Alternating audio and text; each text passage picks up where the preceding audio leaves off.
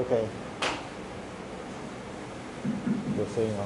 好，那我们前面讲了一堆那个概念嘛，那我们现在就来讲一个真正的比较完整的一个例子哦。呃，这个例子是那个，就是就是是一个，当然是一个比较简化的例子啊，就是呃，我们叫这个例子叫 coin flip。OK，coin flipping problem 就是扔硬币的问题。那扔硬币的话，呃，就是大家可以想象得到说，嗯，你可以看说你有多少个正面跟多少个反面嘛。英文的正面叫 head，反面叫 tail。OK，那就是说，呃，我们从收集的资料，就是扔扔的扔硬币扔过几次以后，我们要来判断说，这个这个 coin 哦，这个硬币是不是公平的？什么叫公平？就是说，就是说 how biased is the coin？这边的 bias 指的哦。其实 bias 有很多的呃的意义嘛，bias 一般来讲就是呃简单的讲法就是说有多偏对偏颇，对不对？如果直接英文翻译是偏颇，那在这边这这句话来讲当然是偏颇的意思哦，就是这边偏颇就是说远离，就是距离公平的距呃就是就距离公平的距离，就离公平有多远这样子，那。什么叫公平？就是说你扔出来硬币正面的几率是百分之五十，对不对？这应该蛮容易了解。对，那我们这边 how biased is the coin？就是说你离翻出来硬币是正面的几率有多远？OK，那这个 bias 哦，就是有就我刚刚讲说有很多意义，还有还有。一个意义，就我刚刚讲说是偏离嘛，有多偏离，或者说有多这个这个这个。那另外的话就是，就是说，你可以把也可以把这个 bias 当做说这个这个 Underlying probability of coming up head，就是翻出来正面的几率。OK，所以 bias 是有两个意义的。呃，这边感觉好像在教英文课哦。呃，没有错，就是你你要看这个 bias 的意义是什么，代表是哪一个意义，是要看全句的句子。OK，比如说我觉得，when coins flip，it has a bias of 0.5。这边的 bias 指的就是翻出来正面的几率，OK？那这个这个，所以说 other time the bias, the term bias may be in the colloquial sense. of a departure from fairness，这是我们刚刚讲说的是距离公正有多多多多远嘛？这个就是就是一般我们讲的这个这个 bias 的距离，这个这个这个意义这样子。我们可以用这个讲说 head biased 或者 tail biased，或者 head biased，说这个硬币扔出来，你扔出来正面的几率比较高，或者说 tail biased 就是扔出来。这个硬币扔出来反面的几率比较高之类的，所以这边要让大家也了解一下，就因为我们后面会用这个名词的时候，避免你们有任何的误解哦，所以这边要讲一下。OK，那当然你们也可以会，你可能可能也会问说，哎哎，我为什么要去，呃，就是去关心说，呃，这个翻硬币这个问题？OK，借由这个硬币翻出来有多少次正面，多少次反面？这个东西来估计硬币，呃，是呃，它翻出来正面的几率这个事情，这感觉起来这跟我们一般想要处理的问题好像很不一样，对不对？因为因为正常的问题不会跟翻不会是叫做翻硬币，对不对？但是呢，OK，这个哦，这个。Coin flips 哦，它是一个呃，就是说很多实际生活会发生的这种事情的这种，我们讲 surrogate，surrogate 就是这种替代、代替物。OK，就是说呃，也许啊，就是说我们现在讲是这个翻硬币，但是事实上你可以把这个东西理解成有一些这个常发生在我们人，呃，就说生生活周遭的一些问题的分析，会跟这个其实是是其实是类似的。OK，那这个我特别刮了一个刮胡写个 dichotomous，什么叫 dichotomous？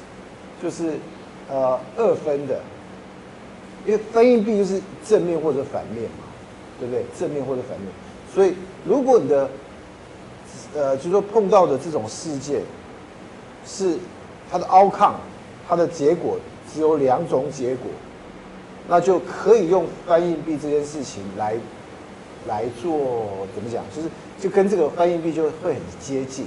所以当你了解怎么样去解、去去去呃分析翻硬币这个这个事情的时候，你就会知道怎么样去做那个那样子的问题。举个例子来讲哦，举个例子来讲。OK，啊，有很多例子啊，这边。For a given type of heart surgery，就是我们大家的开心手术嘛，开心手术。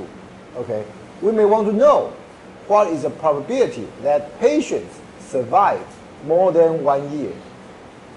就是说，这个病人哦，开心手术完了以后，OK，我们怎么样定义一个开心手术是成功的？简单讲，这个病人做完开心手术以后。他如果活超过一年，我们就定义这个开心手术是成功的；如果没有超过一年，在这一年之内他就他就走了，那我们就认为说这个他是就是这个开心手术是失败的。当然，你可能会 argue，你可能会 argue 说，你可能会说，哎，不对啊，我如果开心手术完了，结果我出去三天以后，我出去外面路上被车撞死了。你说，哎，这个不跟开心手术没有关系啊，对不对？可是问题是，OK，你要定义开心手术是不是成功这件事情，你就只有一种方法定义，就是说他要活够久嘛，对不对？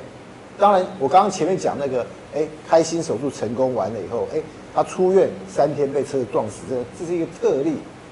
先撇开那种特例不讲，就是说，in general，我们定义开心手术。做完以后一他他活过一年，这就算成功。开心时候做完以后，他没有活过一年，就算失败。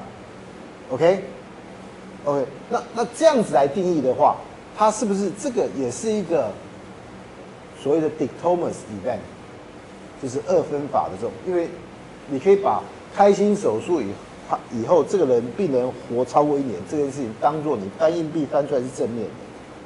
那开心手术以后这个病人没有活过一年。OK，在这一年就走了，这件事情当做你翻硬币翻出来是反面的，对不对？这就很可以类比，对不对？那这是一个，那这个当然是跟呃医疗，呃应该说医生的这种呃呃这个这个治病的这种这种这种呃的分析。那另外啊还有很多啦，譬如说 for survey question，就是你给人家做问卷，OK，we may want to know the probability of agree。or disagree。譬如说，我们做民调的时候，OK，台湾最喜欢做民调嘛，就是呃，就是因为台湾常常选举嘛，啊，选举就你会说，哎，你支持现在的政党，还是你反对现在的政党？OK，通常当然有一些民调不是二分的，我也要老实讲，OK，比较复杂一点，比较比较像台湾的民调，有一些是。就是说，哎，我支持，我反对，他可能会有我不知道，就不表态之类的。他甚至有一些是说，比如说，我非常支持，我我小小支持，然后我中中立，然后我我小小反对，跟我非常反对，然后再加一个我我我不我不表态，就是有分成很细啦。但是呢，我们撇开那个不讲，我们假设是一个比较简单的一个民调，那他就只有同意或者不同意。那在这种情况，你去分析它的结果的时候，就会跟翻硬币是一样的，对不对？你现在说，哎，你收集到这些呃呃民调的结果啊，假设我们就是只有同意跟不同意好了。你现在有这个呃呃一百个同意，有五十个不同意，那你到底你就说就说你要去估计说全部的民众对现在的政府到底支持不支持？对，支持这件事情就可以像是说我刚刚讲说翻出正面的几率，因为支持假设是翻出正面，OK，就是跟硬币那个类比的话，对，所以说这个也是一个类似的可以类比的问题。那这个在社会科学上面可能就是一个很重要的问题。那另外一个 two candidate election，OK，这个也因为我刚刚把前面也把它解释成选举啦，所以说这个跟跟那个刚刚就有点像，但是这个。这个它是直接把说有两个 candidate A 跟 B 哦，就说 before the election，那 we want to estimate from the pool 因为 want to estimate the probability that candidate A will win。呃，这个呃台因为台湾现在都三角都嘛，OK，所以可能比较不适合。那台在美国可能就非常非常像，对，美国有这个拜登，有这个这个川普嘛，对不对？上一上一轮他们。两个互干的时候，川呃拜登赢嘛，那这一轮他们又会再重呃看起来会再选一次，那这个像类似像这样的情况，因为像如果当你只有两个 candidate 的时候，那你可以把 candidate A 当做翻出来正面，candidate A B 当做翻出来反面，对不对？那这个 pool 也是类似，就是你要能够去做估计嘛，哪一个赢，就是说 candidate A 赢的几率，OK 之类的。然后再来，另外一个 studying arithmetic ability by measuring accuracy on a multi-item exam。OK，这个这个呃，这个其实是比较是那种学习啦，呃，这种题目可能如果呃呃，因为我知道同学就是都是资工的人的人嘛，那那跟楼上的网学所可能比较不一样。如果说是网学所，他们就会在乎这种东西，就是哎，他们设计一个东西，让你，让你，呃，就可能学学生先开始先做个做个做个考试，那大概考出来的成绩是多少？然后接下来，OK，再做一次，就是等等，那他他可能设计一个教案，要给学生学学学学，学好以后再考一个考试，然后看说学生有多 improve 有多少之类的。那在这个考试。学生就只有对某一种、某某一个题目，他就只有做对跟做错嘛，对不对？所以做对跟做错这两也是一样，是一个扔硬币的东西，对不对？也是一个二分法。所以这个这种对学生学习能力的分析，学生学习的这个结，应该说学习的结果的分析，也是类似这种所谓的 dictomus event。所以只要你在 study 的问题是 dictomus。那基本上，我们现在说，就是说去讨论这种 coin flipping 的这种问题的时候，都可以类比得到。所以，其实虽然说我们并不是直接去讨论这些问题，但是呢，我们讨论的那个这个 coin flipping 的问题，其实是有代表性的。当然，它还是我们可以讨论的问题里面，相对来讲是比较简单的，因为它只有一个变数，对不对？一个 coin。一个变数，然后它只有两个 outcome，相对来讲还是比较简单的。虽然它其实已经代表这么多可能的应用哦，它还是比较单纯、比较简单的。好，所以呢，OK，那我们当然第一件事就是我们要 generalize 这个 concept of bias。OK，那这边的 bias 是什么意思？这边的 bias 就是。翻出正面的几率，OK，翻出正面的几率。那 we will say that the coin with a bias of one，就是翻出正面的几率。如果它的几率是一的话，代表这个 coin 哦，永远都翻出正面。OK，那如果说这个 bias 是零，它翻出来正面的几率是零，代表它永远翻出来是反面。OK，那 bias One with 那 one 讲的是 coin 啊，就是这个硬币，硬币。如果它翻出正面的几率是零点五，代表说它是有一半的可的几率翻出来正面，一半的几率翻出来是反面。OK，所以呢，我们可以用 theta，用一个参数来表示这个 bias。OK，用一个参数就是 theta。OK，那我们也可以，就是说我们要去看说，因为你收集。就我刚刚讲说，我们收集的资料是你总共翻出来多少次正面，多少次反面，对不对？那我们当然要知道总共你翻了多少次，对不对？这是最基本的其中一个参数。所以我们讲说这个 total number of heads，哦，就呃对不起，n number of tosses，就是所有的扔扔几次叫 n 大 N 呐，呃大 N。那我们就是说这个 total number of heads，OK，我们用 y。我再讲一遍，我们用 theta 表示翻出来是正面的几率，OK，那 n 大 N 代表全部我们翻了几次，小 y 代表是我们总共翻出来多少次正面，在这个 n 次的翻硬币中间，我们翻出来多少次的正面，所以呢，OK，根据贝氏定理哦，我们可以 specify 的 prior。Prior 就是 P of theta，OK，就是呃呃，就是你翻出来正面是 data 的几率，你有多相信它？这边要小心哦。这边是你有多相信翻出来这个这个后，就说这个硬币这个正面翻出来硬币翻出来是正面的几率是 theta，你有多相信啊？这边的 theta 当然指的是某个特定的 theta 值嘛。对不对？所以你有你有多相信这个东西？那 likelihood，likelihood 就是说，给定，给定这个 theta，给定某一个 theta，就是说，那你翻出来在 n 次的在 n 次的 trial，n 次的 trial 里面，你翻出来 y 次正面的几率。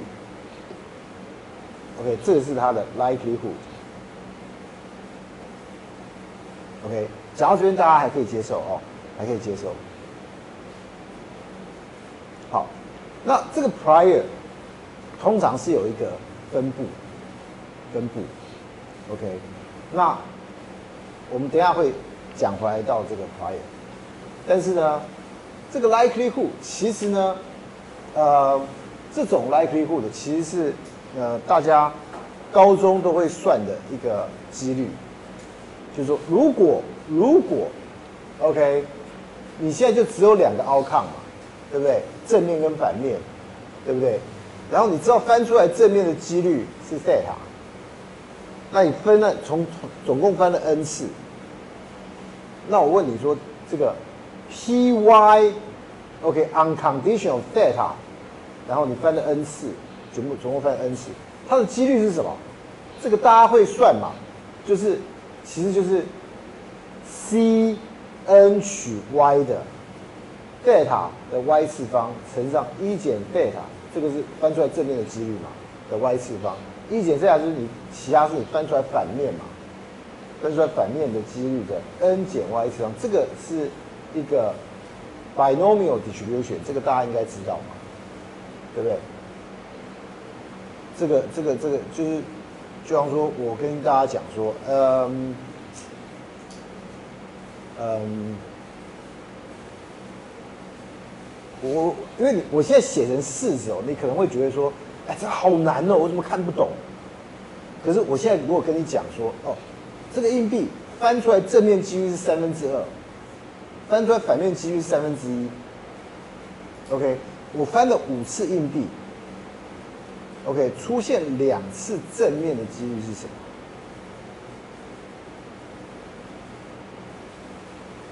那那，你就要把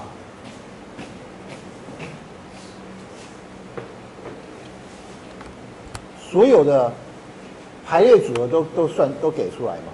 两次正面，三次反面嘛？对不对？我刚刚不是讲分五次吗？对不对？所以。你有正正，我我用正面正当当当当这个 head，啊就是负当反面好不好？或呃或或者，我我还是按照这个课本的呢，可以选好了，就 head head，h h，tail tail tail，这是一种可能性，对不对？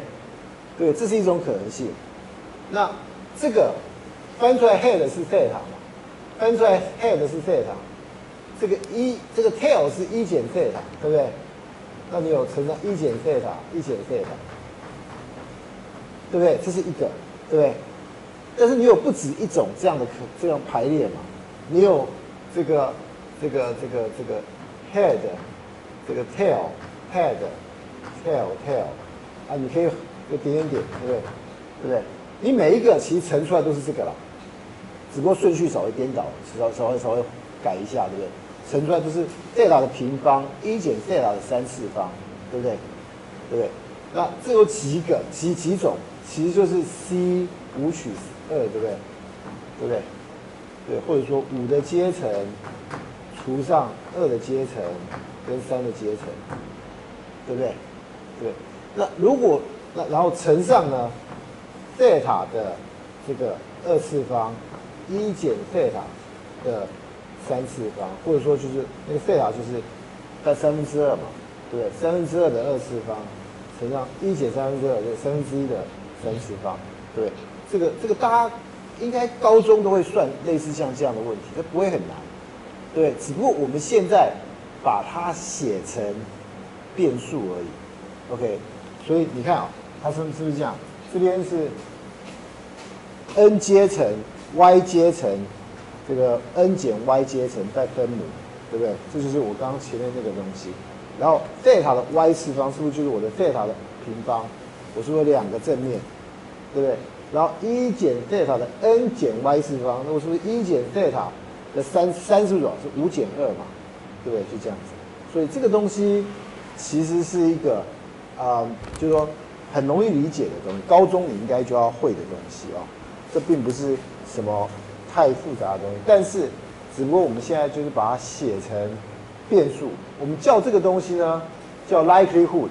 那这个东西在这个这个这个几率论啊，在在那个如果你学几率啊排列组合，呃，说大学的大学的可能就会讲到这个东西叫 binomial distribution。OK，如果你忘记了，你也可以呃，希望可以稍微回忆一下。那这是一个我想我我我说的 discrete distribution。OK，returning probability of getting y heads，然后 out of n coin poses。对你翻的 n 次，拿到 y 次的这个 head，所以呢，它是你在这里面哦，注意到你的呃 theta 不是你的主要的那个考虑点是 y 跟 n，那 theta theta 可能是一个呃介于零到一的东西，对不对？它是一个翻出来是正面的几率嘛。不要是一个介于零到一的东西，但是你的 y 跟 n 其实都是离散的，对不对？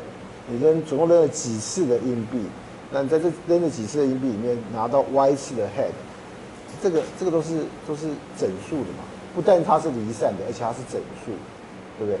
所以这个叫做我们叫它是一个这个 discrete distribution，OK，离散的分布啊，OK。就是说，如果给定一个 fixed value of y，啊，theta，theta 通常是给定一个固定的，因为我们假设给定一个固定的硬币，给定一个固定的硬币，我们假设我们翻这个硬币不会影响它翻出来正面，就你翻这个硬币翻个呃两三次，它翻出来正面的几率是不会改的，它一直一样。在这种情况下面的话，你基本上，所以。就说给定一个 fix theta 的 value，那那这个你会变的是 n 跟 y，所以它是一个这个 discrete distribution 离散的分布，OK，好，那这边我们来看一下啊，譬如说，当贝塔固定成零点二五的时候，那这边你 n 假设你翻了呃呃。全部只有一次，OK，那就你翻你当你翻出来正面几率是零点七五，对不对？翻出来反面的几率是，哎，对不起，呃，翻出来正面的几率是，对啊，真的是，OK，应该说这边指的是说，假设你的是正面哦，你的是正面，你我们假设正面的时候就是 y 等于一。OK，我们给定 y 一个固一个值哦，正面的时候是 y 是一 OK，那零的话就是反面，OK，应该说 y 代表你翻出来几次正面嘛，对不对？所以你 y 等于一代表你翻出来一次正面，对不对？那 y 等于零代表你没有翻出来正面，对不对？如果说你只翻了一次，如果你只翻了一次，那没有翻出来，就是 y 等于零代表说你翻出来翻的那一次里面是反面，对不对？对不对？如果你你 y 等于一代表说你翻一次，那一次是正面。那刚刚讲翻出来正面是几率是零点二五，对不对？那翻出来反面是零点七五，所以这个比较单纯。注意哦，你的 n 是一的状况下面，你就只有这两种 outcome，要不然 y 等于零，要不然 y 等于一，对不对？不可能 y 等于二啊，你只翻一次，不可能 y 会跑出来二啊。OK，然后再来，同样是这个这个 theta 等于零点二五，现 n 等于二啊，n 等于二，你总共翻了两次。怎么翻两次？y 有可能是零，有可能是一，有可能是二，对不对？对不对？所以 y 如果等于零的话，y 如果等于零的话，代表什么意思？你这两次都翻出来是反面，对不对？对不对？这两次翻出来是反面，因为你翻出来反面的几率是零点七五嘛，两次都翻出来是反面是零点七五乘上零点七五，对不对？对不对？所以大概是这样。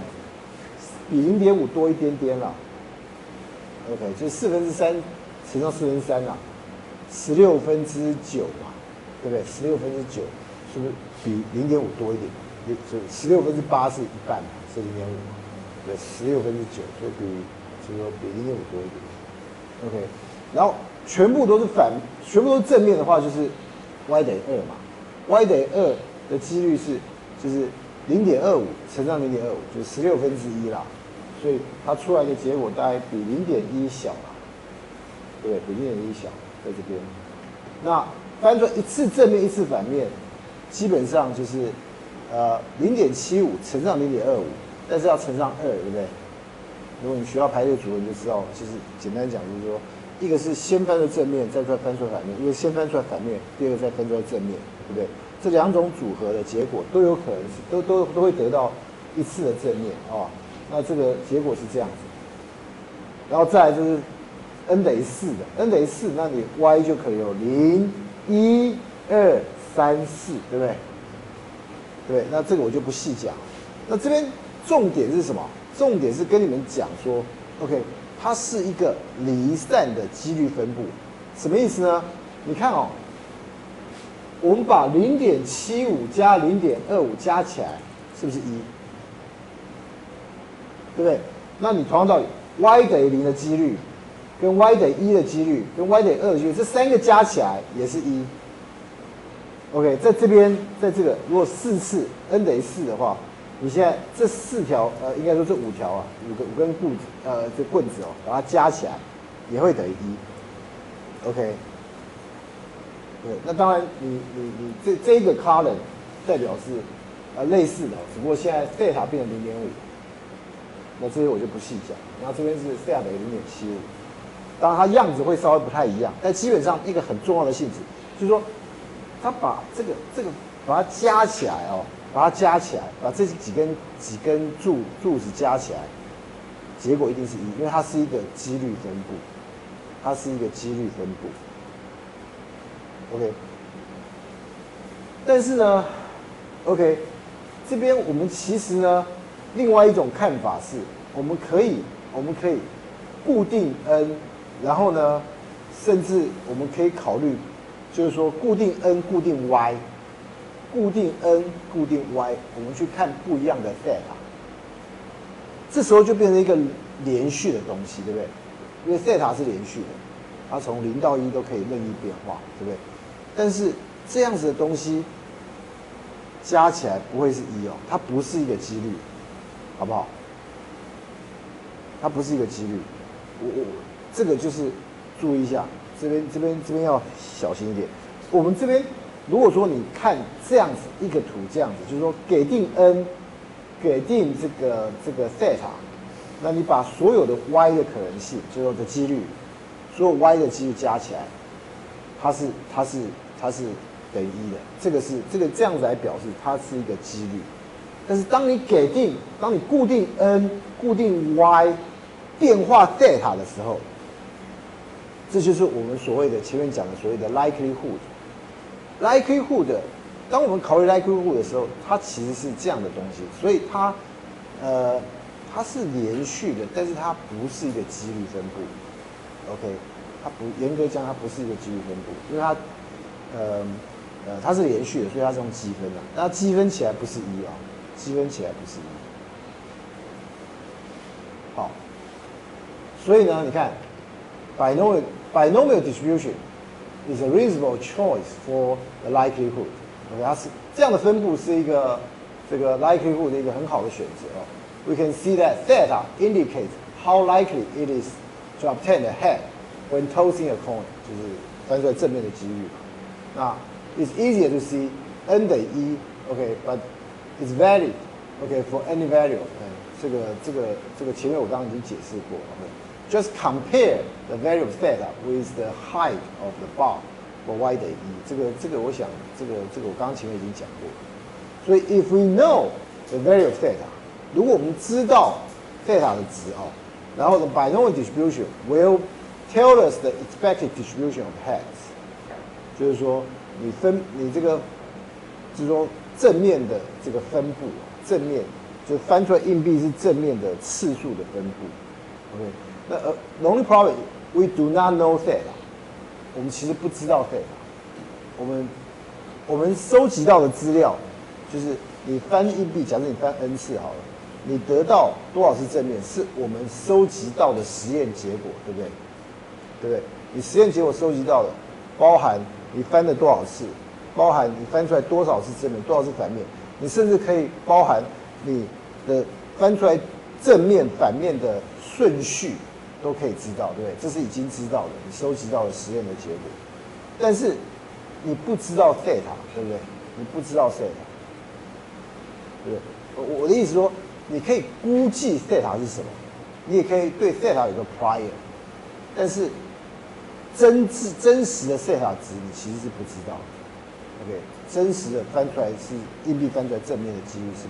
不知道，OK，but do not despair OK，不要灰心丧志了，OK，在背试的几率里面啊，背试的这个统计，every time we do not know the value of parameter，we put a prior，就说当我们这句这这句话非常非常重要，OK，这句话非常重要，因为我们的背试资料分析的目的就是希望收集资料。来帮助我们理解一个东西，对不对？帮助我们理解一个东西，对不对？那简单讲，你如果有什么东西不知道，你就给一个 prior，然后呢，然后借由资料，你可以得到它的 posterior。OK，的上个礼拜我们有讲过，这个 prior 跟 posterior 其实它可以有个倍式几率的关系，对不对？对不对？对，我们是用呃离散的东西来讲，但是基本上哦。这个东西在连续的也是成立的哦，但是重点是在说，基本上你有什么东西你不知道，你先放个 prior，然后到最后你就会借由你收集到资料，可以得到这个你不知道这个东西的 posterior，就会让你更了解这个东西，OK？所以，OK，我们这边当然是一个可能的 prior distribution 啊。我再强调是，这是一个可能的 prior distribution。这个 prior distribution 是我们认为这个硬币还算公正，还算公正。所以你看哦，它其实是一个这样子金字塔形的这种这种分布。就是说，我们认为它 delta 是零点五，有最大的几率。但这个这个我没有那么相信啊。为什么讲说我没有那么相信？因为它最高，最啊最高零点五最高也不过是比零点二再多一点点嘛，对，它其实并没有那么集中，对不对？然后再来是这个从两边等等比例的下降，对不对？等比例下降到零跟一的时候，基于零跟一的都是降到零哦。OK，它是一个线性的这样的关系。OK，那这个哦，其实你。可以去估计看看哦。如果说你你因为这个东西，这是一个 prior distribution，基本上是一个几率分布，所以它这些这几根呢，它它还是离散的，对不对？这还是离散。我们其实只给只指定只在每一个，比如零点零、零点一、零点二、零点三、零点四，就是我们还是给它离散的。这这就就真实的 theta，就是我刚刚讲 theta 其实是一个连续的东西，对不对？所以你可以翻出来是正面的几率这个东西，你可以是零点八三七六五七八九，随便你讲，对不对？你可以随便讲讲讲很长一串，对不对？所以它是它当然是一个连续的东西，但是呢，我们这边要去做分析哦。OK，呃，我们先假设一个比较简单的状况，就是它是离散的。OK，后面我们就会讲到连续的情形，好不好？所以我这边先声明，这是一个简化的的情形。简化说，我们把一个连续的变数把它离散化，离散化。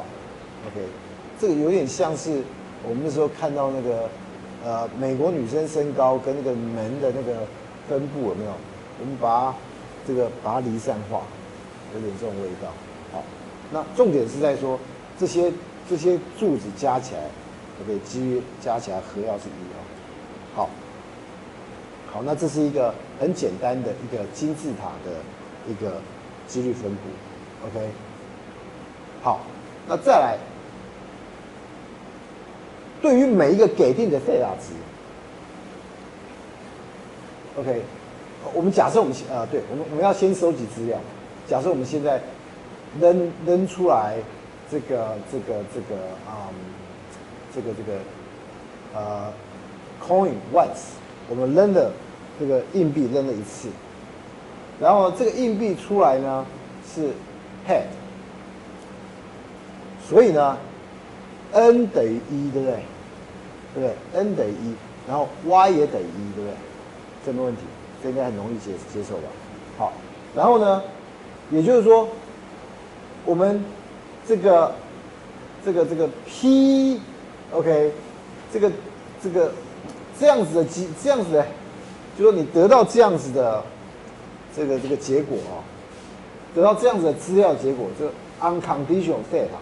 假使你知道翻出来正面的几率是 theta，那你翻出来一次拿到正面的几率，是不是 theta 嘛？对不对？这个条件几率就就很显然是 theta，对不对？对不对？好，那。我们希望利用这个东西去算到 p of theta on condition of d 啊，其实是或者说我们现在对每一个这个 theta 不一样的 theta 值，你去算它的这个这个这个这个东西，它就会变成这样子，因为就就就会等于它的 theta 值嘛，对不对？这就是它的 likelihood，OK，它的 likelihood 就是 p of theta on condition d，OK，然后再来就是一个很好玩的地方了，再来是我们要得到 posterior，OK，所以我们先有这个，这是 prior，prior 是我们假设的，没有错，prior 是我们假设。但是 posterior 呃，like 这是 likelihood，likelihood 不是我们假设的哦，likelihood 是我们根据我们前面的假设，然后呢，那个根据这个几率我们算出来的，对不对？我们算出来的，虽然这个算出来这个这个这个这个事实很简单啊，它是算出来的，对不对？好，这是外 Q。那 posterior 呢？posterior 按照贝氏定理。按照贝氏定理，是 p of theta on condition of d，对不对？对不对？那这个是什么？大家还记得吗？还记得？这个东西其实是这样的，是，因为你们可能已经忘记了，我们上礼拜有讲，就 p 啊，这是这边。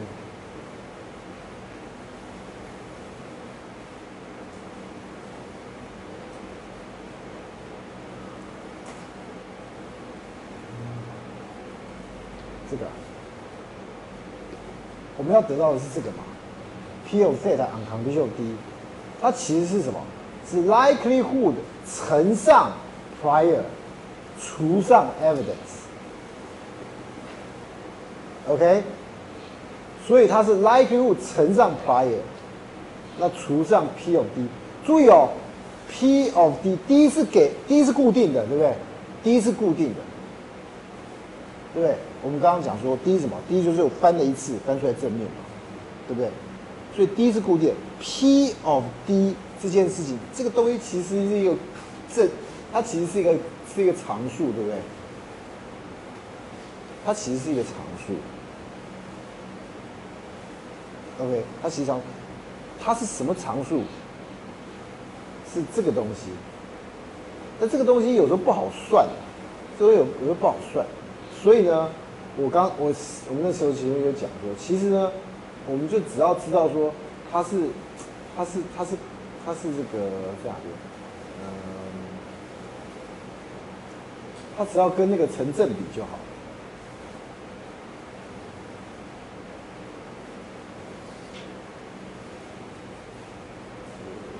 这个这个东西只要跟这个乘这个，这个就是 likelihood 乘上 prior 就好。OK，那个分母啊，分母是一个常数，这个常数呢除下去可以让这个注意哦，这是一个这叫我们叫 posterior 对不对？左边这叫 posterior，对不对？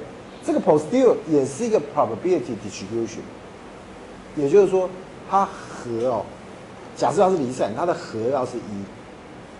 呃，或如果连续的话，它积分要是一。OK，当然，这个乘这个，嗯，我的意思是说，你可以，你可以得到这个，你可以得到这个，但是有时候它这个分母啊，这个除的这个分母需要经过积分，它那个积分有时候很难。那你没有关系嘛，你不用管它，反正你把它，你把它。乘起来得到以后，你把所有这样值都乘起来得到，然后呢，把它全部加起来，全部加起来，如果如果是超过一怎么办？你就把它除掉那个值嘛，反正你只要把它变成是和为一就好了，对不对？你只要除，就是你把那个那个 P of D 那个东西，你把它想出它是一个 normalizer normalization 就好了，OK。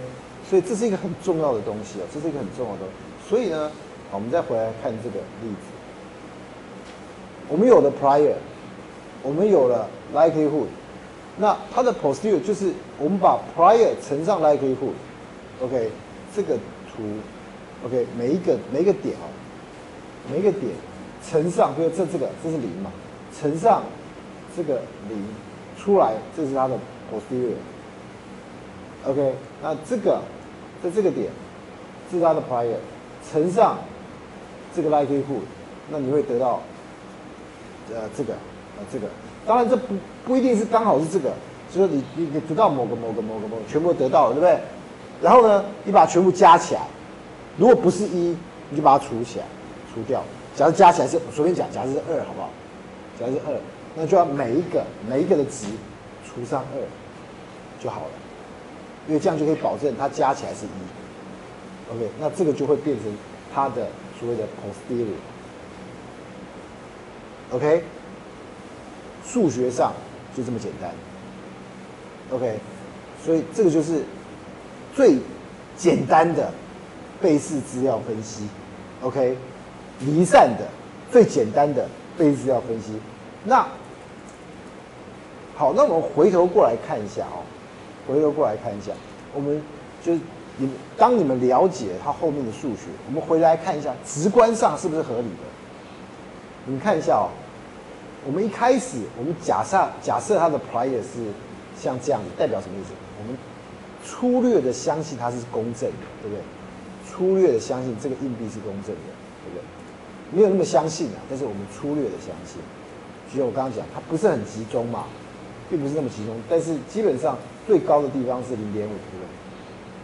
所以我们粗略的相信它是公正的，但是呢，我们扔了一次，它是正面的，所以呢，是不是我们要对我们那个前面的 prior 做一些修正？OK，所以你可以看到说，呃，这边它的 posterior 是，你看哦，它最高还是零点五，但你会看到说，它往这边的几率变变变高了，有没有？这边的几率变低了，对，这很合理嘛，对不对？因为你收集到的唯一的资料是是正面，对不对？所以你理论上，就直观来讲。你就是应该觉得说硬币翻出来正面几率应该要调高一些嘛，对，直观来讲就是这样子。所以我再讲一次，背式资料分析就是把你的直观，把你的直观，呃呃数学化，把你的直观数学化，或者说它其实是它的它的数学化的结果跟你的直观是吻合的。OK，那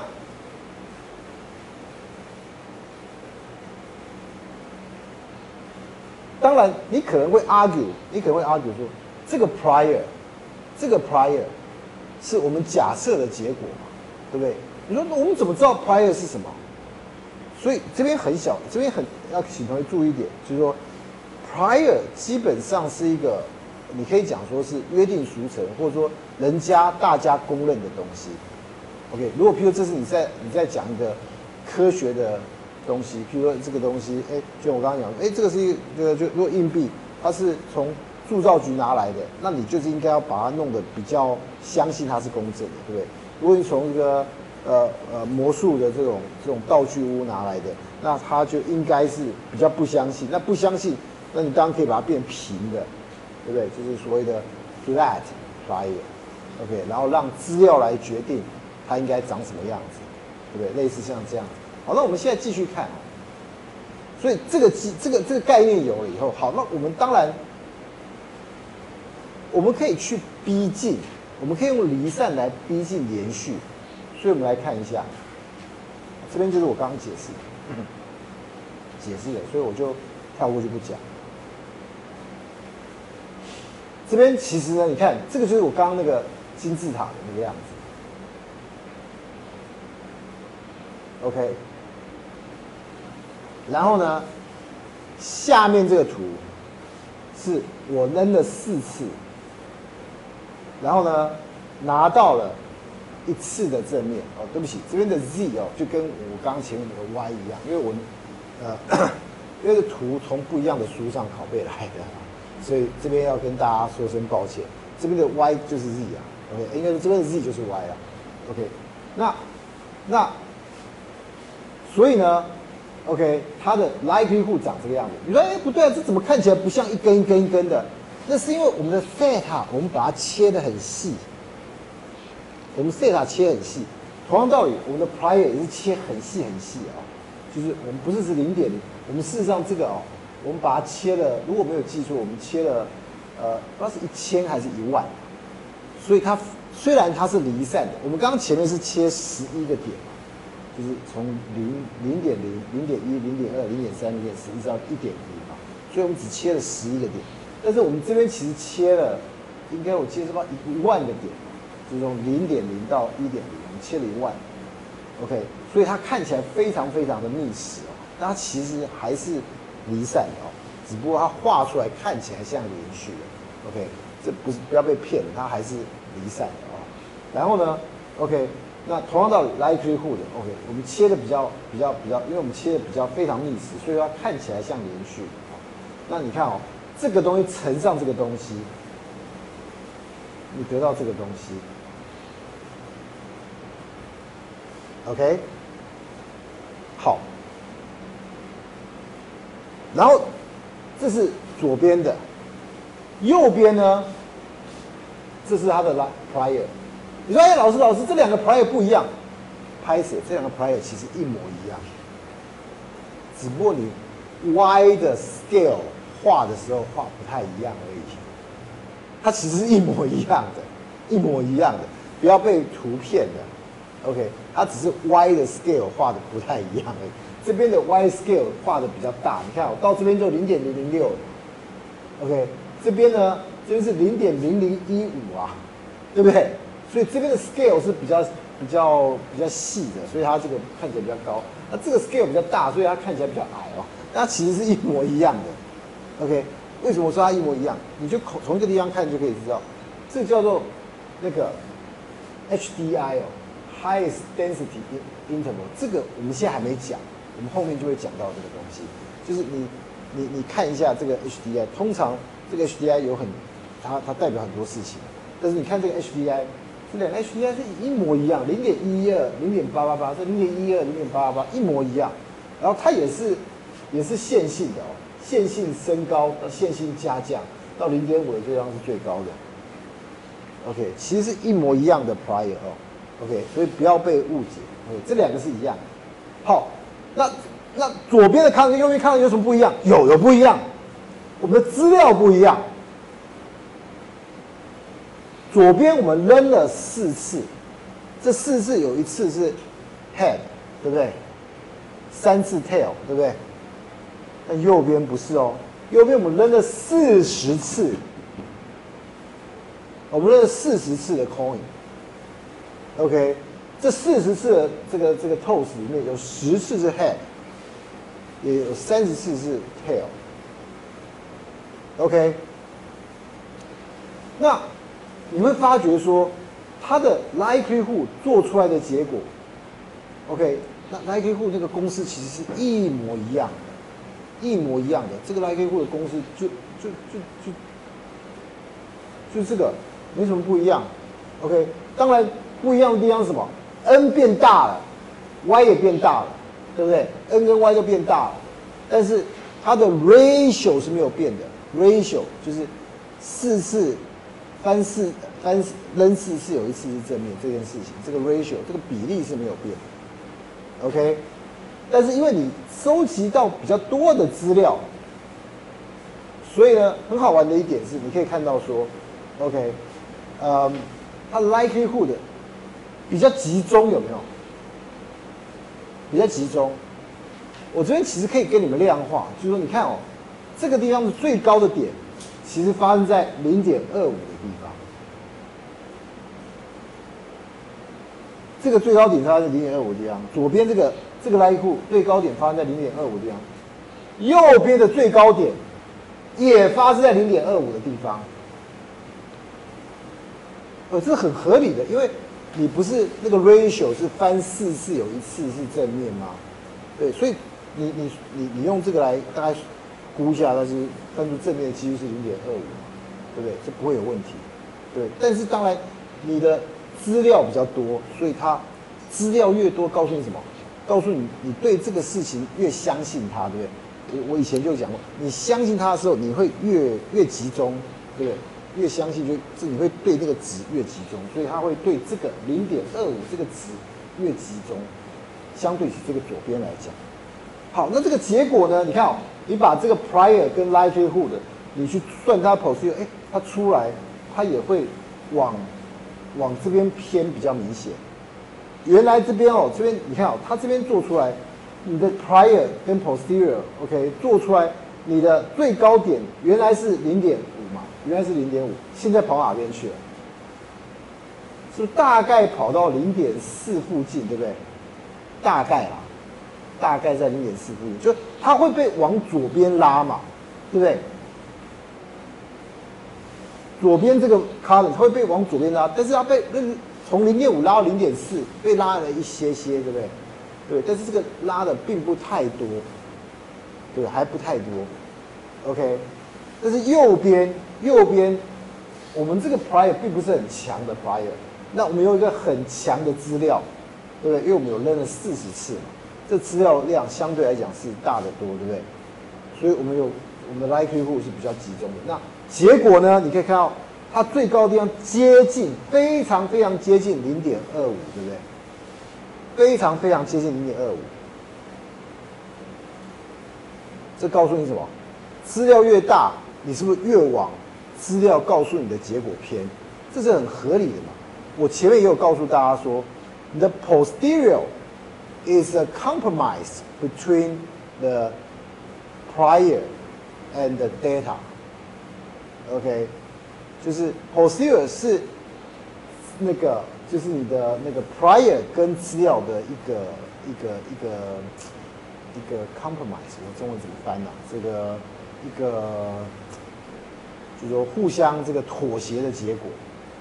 OK，那这两个资料跟 prior 哪个比较强？OK，这边在这两个都是我们的 prior 都是一样的嘛，或诶这两个一样的 prior 都是比较 weak 的 prior，比较不那么强的 prior。OK，差别在什么？差别在左边资料比较弱，右边资料比较强，对不对？他们虽然这两个资料都告诉你同一件事情哈，两个资料都告诉你，就是说翻出来正面的比例是零点二五。但左边资料比较少，右边资料比较多，对不对？对不对？所以呢，你看它的 posterior 是不是就会不一样？posterior 这边是零零点五到零点五之间嘛，但是还是比较偏零点五，对不对？因为因为其实它的资料量并不多，OK。但是当你资料很多的时候呢，你可以看到你的 posterior 就非常非常偏向。资料告诉你的那个事情，对不对？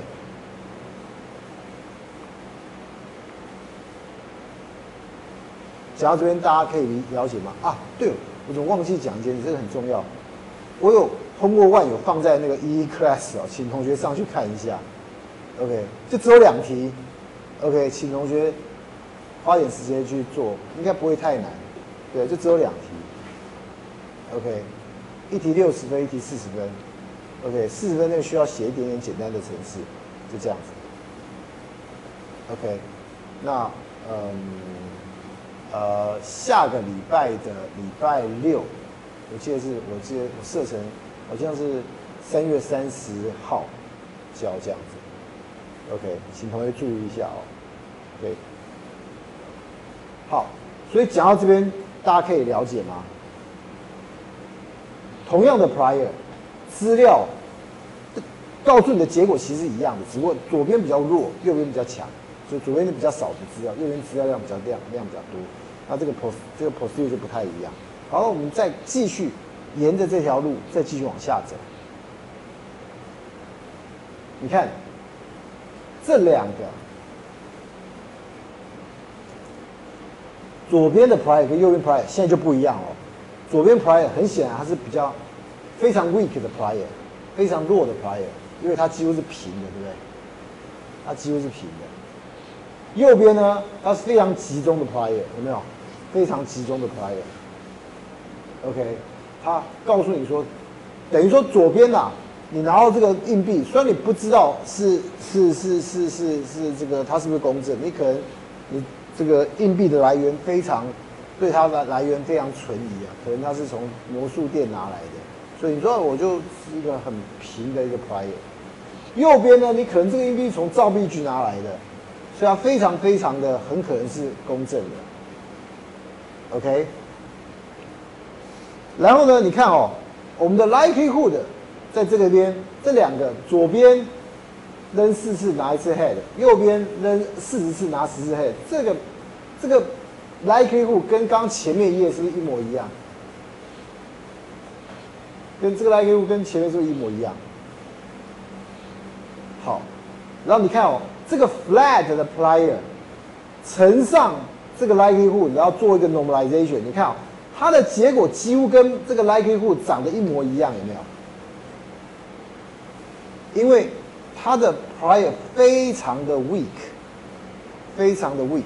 当你的 prior 这么的 weak 的时候，你的资料就算你的资料很弱，它也几乎是非常主要的决定了你的 posterior 长什么样子。OK，那相反的，当你的 prior 非常的强，你非常相信它是公正的。OK，那就算是你有很多的资料，就算你有很多资料，哎，你资料有四十，但是四十四只有十四的 head。OK，你把这个，把它把它用贝氏之之那个那个那个定理把它算出来，你看这是你的 posterior，你注意到它对那个公正有开始下降了，对不对？它比较没有那么集中了，对不对？但是呢，你可以看到它最高点也不过移到零点四左右，对不对？对，它也只不过离到离到零点四，还是蛮接近零点五的，对不对？离零点二五还颇有一段距离，对不对？那是为什么？那是因为说你有很强的 prior，那你当然可以把这两张图跟前面一页的这两张图分别来看，因为左边这个跟下面这一张的左边这个是同样的 likelihood，只是 prior 不一样，对不对？你看它得到的 posterior 呃 posterior 长什么样子，你可以看一下。然后到右边这边，OK，这个这个它的 likelihood 跟下面这个下面一张的右边这边的 likelihood 是一样的。那当然有不一样的 prior，所以它的 posterior 也很不一样。OK，这个同学可以看一下。OK，那这边就是说告诉大家这个 prior 的影响也很重要。我再强调一次，所谓 posterior，它就是 prior，你的 prior 跟你的 data 的 compromise。那在这贝氏资料贝氏资料分析里面的那个在贝氏资料分析里面呢，prior 当然就是一个几率分布。那我们讲资料，其实它体现它的体现就是 likelihood。OK，那你把 prior 乘上 likelihood，OK。除到一个，把它把它 normalize 以后，就是你的 posterior，就是你的 posterior，OK？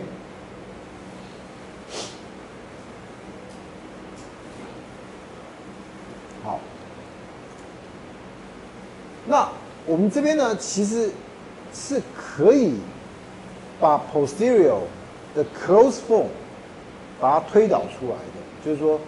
呃，在一些特别的状况，这边我要强调是在一些特别的状况，我们是可以做这个 posterior 的推导。OK，我刚刚是不是讲说，其实我们刚刚前面那个都是用离散的去把它乘起来，然后然后再把它这个乘出来的结果，然后我们把它加全部加起来，然后把那个全部加起来，结果把它 normalize 掉，对不对？得到这个 posterior，对不对？对不对？就是也就是说，这边真正我们都没有真正去做那个积分嘛。因为这个东西积分不好积嘛，对不对？所以我们这边其实是一个，呃，你只能讲说，我们这个结果得到这个结果呢，当然它是正确的，我不是说它是错的，但是我只能讲说它是一个 approximation，它是一个呃逼近一个趋近，OK，一个大概的估计，OK，虽然这个估计已经算很精准了，我们我记得没错，我们是切了一万点，所以说它是已经非常非常的精细，但是当然。数学上，我们还是希望能够对它有一个有一个所谓的 close form solution，就是完全精确的估计这样子。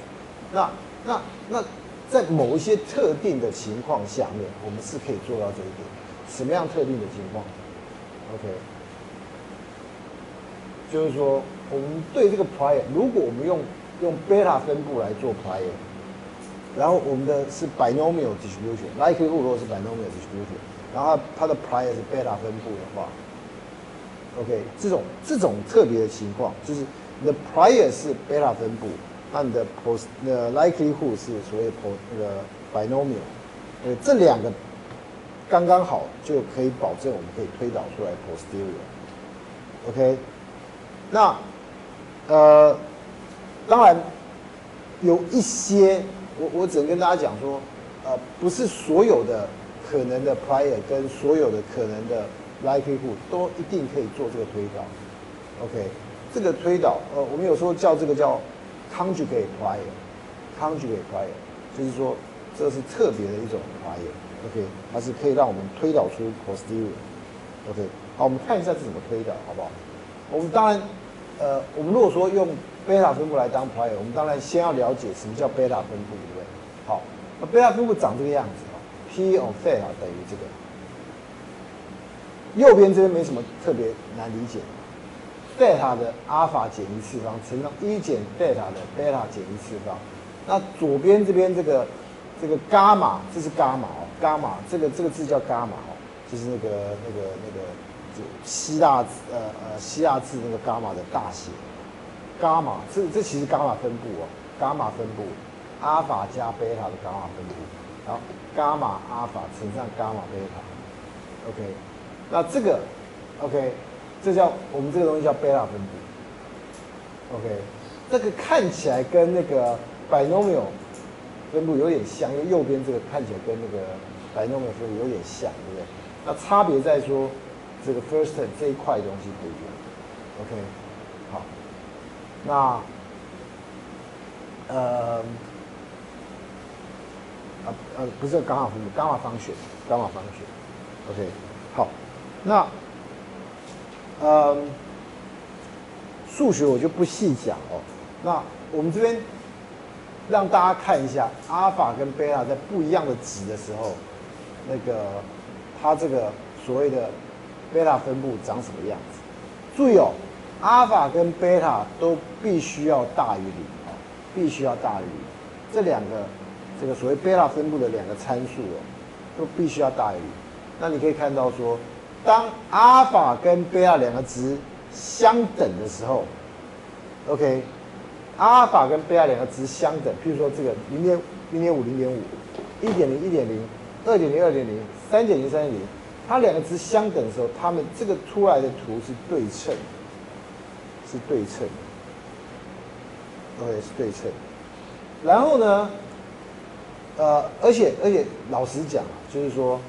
呃，对中心对称的，OK，而且你可以看到说，当你呃呃，应该说，呃，这两个值变越变越大的时候，当它们两个相等，然后越变越大的时候，它其实是对中间会越来越隆起，对不对？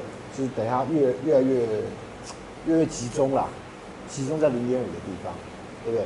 那当然，一个特例是 r 等于一，贝塔等于一的时候，它其实是一个所谓的。那个 uniform distribution 平的，它是平的，这是一个特例。OK，阿尔法等于一，贝塔等于一，然后再来有一个观察是这样，就是说你那个，譬如说我们我们去看说这个这个这个啊，从左边到右边好，就是说当我们固定阿尔法值。贝塔越变越大的时候，会有什么情形？你会看到说，那个峰值啊，会往左边跑。你看哦，同样阿尔法等于三点零，贝塔从零点五变到一点零，变到二点零，变到三点零的时候，你可以看到很明显，原来峰值在这边，对不对？它变到这样子，它变到这边，变到这边，没有？它越来越往左边跑，对不对？对不对？然后同样哦。当你固定啊啊啊啊贝塔，固定贝塔，然后你光看阿尔法，OK，当阿尔法就固定贝塔，阿尔法从小变大的时候，峰值从左边到会变到会不会往右边跑？OK，你看这边最最看这这边，就贝塔都是二点零，阿尔法从零点五到一点零到二点零到三点零，就看到峰值从这边到这边到这边到这边越来越往右边跑。OK，这些基本的让你们先知道一下，就说这就这个是一个呃，就是贝塔分布的一个性质啊，一些性质。那你们可以看得出来说，这个贝塔分布其实还蛮多样化的，对不对？还蛮多样化，而且就是因为你刚我刚刚讲这个阿尔法跟贝塔的一些东西，OK，你可以你可以去借由改变阿尔法跟贝塔去。去去去，大概逼近你心目中的那个 prior，对不对？对，比如说我希望的中呃 prior 是靠近某个值啊，很集中或什么东西的，这个我们都可以做得到。OK，呃，至少很可以逼近它。OK，所以就 A gets bigger，那 bulk 就是说那个那个鼓起来的那个分布鼓起来的地方哦，会 move right，这个 rightward 就往右边跑。OK。那呃，这个这个相反的哦，就是说，如果说是那个那个，如果 B 变大的话哦，那个会会往左边跑。那 A 跟 B 一起变大的话，那个贝塔分布会 get narrow，就是它们会集中，会集中。OK，那 variable A 跟 B 哦，就是在贝塔分布，我们叫它叫 shape parameters。OK，这也很合理嘛，因为阿尔法跟贝塔是控制这个这个贝塔分布的。这个 shape 啊，或者我们叫 A B 啦，OK A B，呃，应该这样讲在有些参有些文献我们就写成阿尔法贝塔，有些文献写成 A B 哦，还是句老话，因为我这个 slide 是从不一样的书里面拿来的，所以有些地方会稍微不就 inconsistent，让大家也也跟大家抱歉一声哦。但你知道我我在讲讲什么就好。OK，就是这个这两个参数啊，阿尔法贝塔或者说是 A B 啊。我们叫它叫 shape parameter，因为它控制了这个贝塔分布的这个 shape 啊，OK，它的形状。所以这个 shape parameter can have any positive real value，它们必须要是正的哦，它必须要大于零，OK，但是它可以是任何值，OK，好。所以呢，OK，贝塔分布啊，restricted to be between 零跟一，OK，所以呃，在这个 in the same way our theta parameter is，就我们的 theta，我们刚刚前面不是翻硬币那个 theta，那个 theta 代表什么意思？硬这硬币翻出来是正面的几率，对不对？那所以 theta 的值一定要在零到一之间，对不对？那这个是不是刚好跟我的贝拉分布的情形是一样的，对不对？在零跟一之间嘛，对不对？然后再来，OK，这个 in general we use the beta 分布，OK，when we want to model prop proportions，这个这个 proportions of a binomial value 就是只要是那种，就是说这种这种二分法的，有一个有个有这个这个这个有个 theta，OK，那代表一个。一个一个影片，那另外一个一减这样代表另外相反的影片，就是如果是这种二分法的这种事件，我们通常用贝塔分布来来来模，就就说在这个做这个模型啊。所以呢，这个贝塔分布是 versatility，就是非常多样化哦。所以呢，就说这个 distribution adopts several shapes，OK，就是说这个这个这个 including uniform distribution，高选 like distribution，and U-like distribution，就你看，你要 U，你要长得像 U 的，有长得像 U 的；你要你要 uniform distribution，平的也有平的。那你要高斯分布，这种集中的也有像集中的高斯分布的。所以它贝塔分布还蛮多样化的，对不对？它可以，它可以，呃，就是说那个逼近你心目中想要的各式各样的 price。我我当然它它有限制，它它还是有限制，它像它不能够，它不能够。这个出来是一个这样子，像两个峰值啊。prior 可不可以两个峰值？当然可以啊，没有人规定牌也不能两个峰值啊。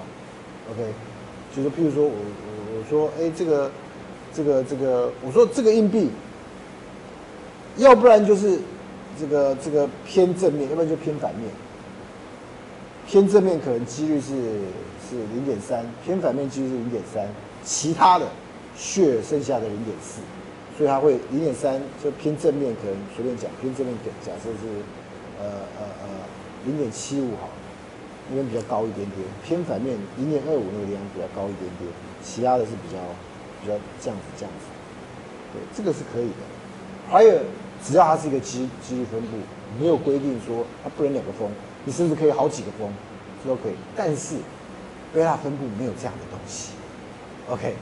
OK，所以贝塔分布它是很多样化，它可以逼趋逼近像什么 uniform 分布啊、高斯分布啊、U-like 啊，这个可以没有错，但是它还是有受限的，它还是有受限啊。